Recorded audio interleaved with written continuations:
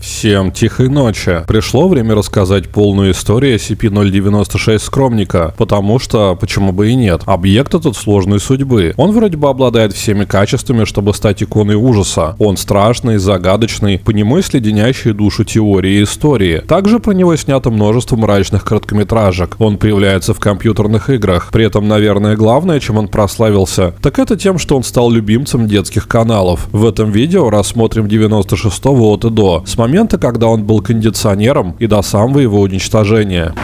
Да, изначально SCP-096 был кондиционером. В далеком 2008 году на сайте SCP 96 объект был прибором для охлаждения воздуха, который моментально замораживает включившего его человека. Таким эффектом объект обладал за счет наличия в нем некой аномальной субстанции. Сама эта жижа, попав в человека, также полностью лишает его тепла, доводя до сверхнизких температур. Бытовое устройство пролежало в камере номер 96 два года и затем было уничтожено, а пустующий слот в базе базе данных занял тот 96-й, которого мы знаем. Однажды на одной из зон SCP в герметичный стальной куб 5 на 5 метров завели худое, бледное, человекоподобное существо высотой 2 метра, 38 сантиметров. Его тело было похоже на сильно искаженного человека. Руки вытянуты и имеют длину в полтора метра. Волос на теле нет. Лицо вроде бы человеческое, но рот открывается намного больше, чем должен. Картину дополняют полностью бесцветные, совершенно неподвижные глаза мертвеца мозговой активности у существа обнаружено не было, да и вообще по всем признакам существо являлось деформированным замороженным трупом. Однако оно вполне себе двигалось, издавало звуки, отдаленно похожие на речь, и большую часть дней медленно ходило по своей камере содержания. Объект, конечно, не самый приятный, но и, казалось бы, не очень опасный. Но это пока никто не видит его лицо. При этом опасно не только непосредственное наблюдение лица скромника, но и фотографии и видео, где можно увидеть хотя бы маленький его кусок. Нарисован рисунки и другие художественные изображения это не распространяется. Фонд SCP для борьбы с существом даже изобрел устройство под названием шифратор, не дающее человеку увидеть страшную морду. Хотя первые модели работали не очень хорошо. Когда кто-то видит переднюю часть головы существа, оно поначалу начинает закрывать лицо руками, а также кричать, плакать и что-то промотать. Это длится примерно 2 минуты, после чего 96 внезапно впадает в ярость и начинает бежать в сторону увидевшего. При этом он всегда точно знает, где находится этот человек, и на пути к нему может развивать высокую скорость в сотни километров в час. Двигаясь к наблюдателю, скромник легко ломает различные препятствия, проявляя при этом невероятную подвижность и разрушительные свойства. Бетонные заборы лишь немного его замедляют, и даже целые дома останавливают его бег только на какие-то мгновения. Фактически так и не был найден материал, который бы 96-й не смог разрушить в состоянии ярости. В тот же момент, когда скромник настигает свою жертву, он убивает ее и не успокаивает успокаивается, пока от тела человека не останется никаких следов. Вероятно, он все съедает своей огромной пастью. Главная опасность, которая исходит от скромника, заключается в том, что возможна цепная реакция. Пока скромник бежит к жертве, его может увидеть несколько людей. А что еще хуже, его могут показать по телевизору, а его фотографии разойтись по интернету, и тогда монстр будет убивать бесконечно, устраивая по пути хаос разрушения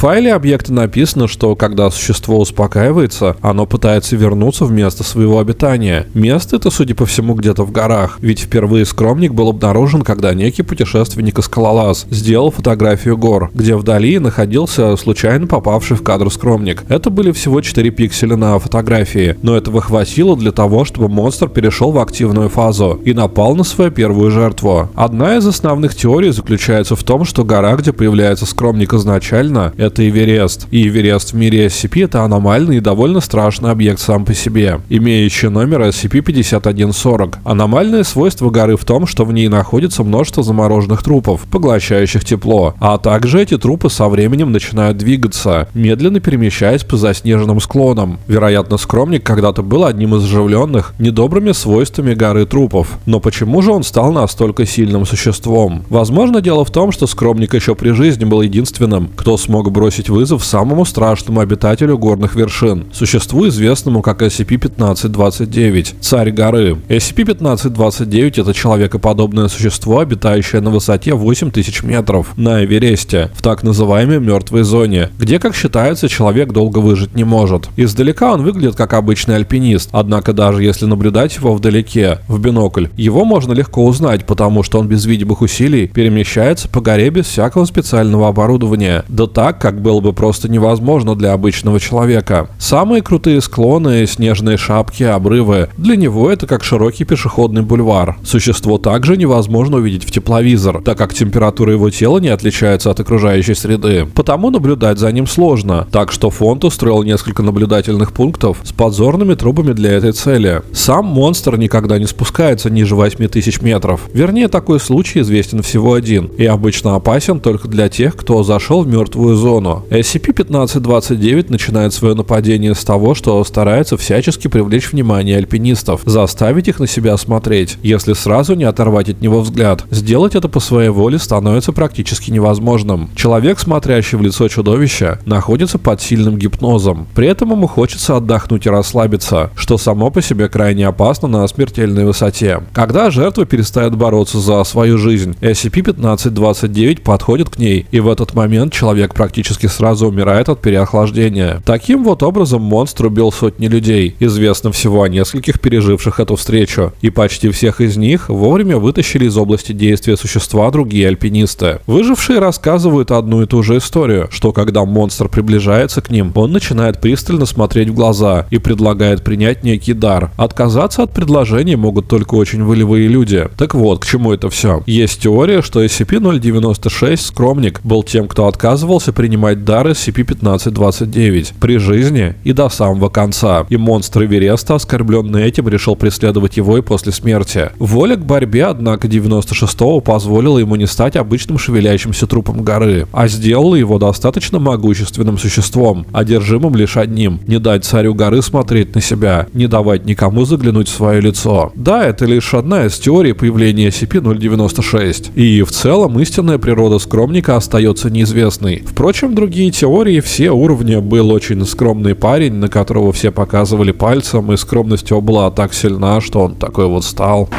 На содержанию фонда SCP-096 скромник оказался даже местами полезен, ведь иногда такое может случиться, что какой-нибудь враг фонда SCP внезапно обнаружит у себя в вещах фотографию с искаженной бледной мордой. Проблема была в том, что фотографии монстра время от времени всплывали и не по воле фонда. Тогда происходили разрушительные нарушения условий содержания. Во время одного из таких случилась довольно необычная история. В камеру к впавшему в буйство SCP-096 зашел SCP-049 чумной доктор, доктор. Он достал из своей сумки огромный старомодный шприц и вколол какую-то жидкость своему бледному пациенту. Внезапно скромник вспомнил, как он был человеком, ребенком, сидящим под деревом, на котором висели острые осколки стекла, изрезавшие его тело. В этом видении чумной доктор залечивал его раны, и это, возможно, был единственный день, когда монстр успокоился, так и не убив человека, увидевшего его фотографию. Однако содержание 96-го было признано слишком опасным делом, ведь мало ли где и у кого могла бы храниться настоящая фотография фотография скромника. Кроме того, по ходу исследования обнаружилась еще одна проблема. Если кто-то создаст изображение скромника, не имеющее отличия от фотографии, это также провоцирует существо. Так что было решение его уничтожить. Было предпринято множество попыток разрушить тело скромника, однако с этой задачей не справился даже SCP-682, огромная рептилия, которую многие считают неуязвимой. Успехом увенчалась лишь та попытка, когда фонд решил использовать один из своих наиболее значимых объектов и поместил в камеру с 96 ту самую скульптуру SCP-173. В течение пяти часов бетонное чудовище носилось по камере 96-го, заставляя его тело выворачиваться во всех возможных направлениях и конфигурациях, пока обитатель камеры не превратился в бесформенный ком плоти. После этого тело существа накачали кислотой, но даже так оно пыталось наброситься на сотрудников SCP. Это, впрочем, был его последний бросок, потому что теперь пули охраны смогли остановить монстра. После всей этой процедуры многие люди в фонде SCP вздохнули с облегчением облегчением. Доктор Клев даже повесил огромную его фотографию на стену, хотя провисела она недолго. Чудовище, даже будучи уничтоженным, продолжало вселять ужас в работников тайного фонда, и никто, кроме самого Клефа, видеть его больше не хотел. Впрочем, сотрудники организации, видимо, слишком расслабились после такого избавления, и останки грозного существа смогли выкрасть проникшие в зону 19 агенты организации Маршал Картер и Дарк, которые с таким необычным уловом отправились в измерение потустороннего города Алагада, чтобы выменить его на какой-нибудь ценный артефакт из других миров. Правитель этого мира, повешенный король, получив в свои руки череп скромника, смог, используя свои темные силы, воссоздать его целиком. Однако с одним отличием. Вместо лица у бывшего 96-го была неснимаемая фарфоровая маска, так же, как и у SCP-049 Чумного Доктора. Теперь скромника можно было лишь иногда встретить прогуливающимся по искаженным улицам Лагады, которые он служит всего лишь украшением и чем-то вроде диковинного животного, на которого приходят посмотреть из всех миров. Этим он будет заниматься теперь всю оставшуюся вечность.